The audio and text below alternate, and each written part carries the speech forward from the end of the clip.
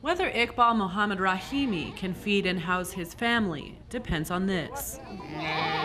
Rahimi has more than a hundred sheep and goats to his name, and keeping them in the best health possible is a top priority.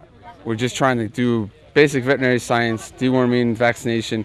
If we can treat their animals and their production, the farmer's production can increase, they can sell their animal for a better price. So they can actually gain more money by uh, having their animal, you know, get to a larger size or maybe get a little fatter, put on a little more weight.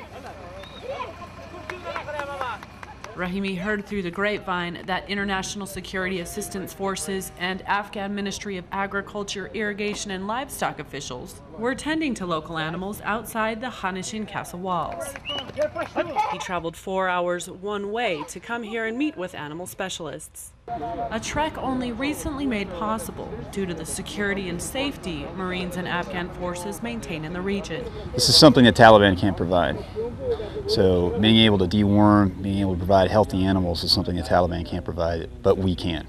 So it's a, it's a good way to show that we're trying to partner with the community to build healthy and stable communities for these people to live in. The fact that a veterinary civil action program is even possible here speaks volumes for the level of stability in the Reeg district and the surrounding community. Marines and Afghan National Army continue to work tirelessly to ensure locals are able to provide for their families free from insurgent threat.